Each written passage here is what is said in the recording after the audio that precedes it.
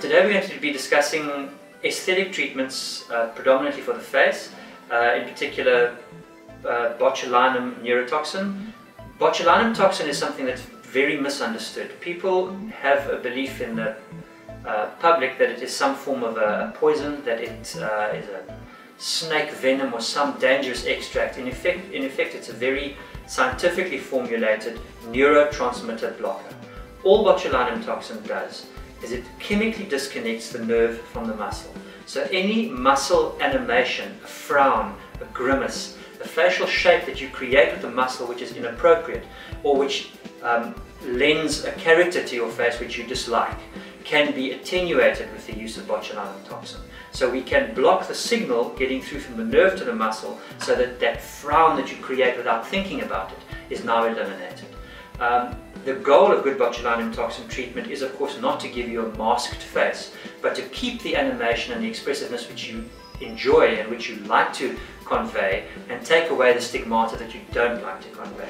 So if done with a practiced hand, with a good eye, one can achieve a serene, focused, uh, appropriate facial expressiveness without giving you the masked or odd-shaped appearances that one sometimes sees in uh, environments like Hollywood, etc., where, where the treatment itself is waving a flag.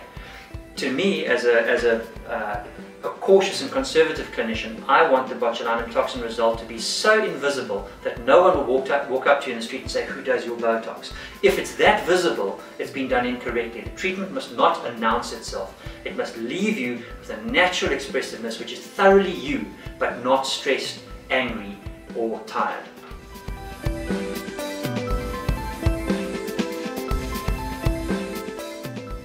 Once botulinum toxin has been injected, it takes a few days to deplete that junction between the nerve and the muscle of the neurotransmitter. Hence, botulinum toxin results are not immediate.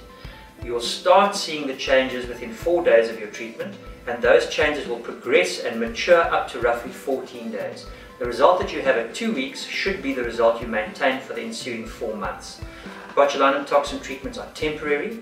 Um, they will last on, an, on average four months per treatment, uh, but that varies from patient to patient. I have some patients where it lasts three months, others where it lasts six to nine months. It's a very individual thing and depends on how quickly your body breaks down the neurotoxin. Um, botulinum toxin treated patients need to employ fairly careful aftercare for the first six hours.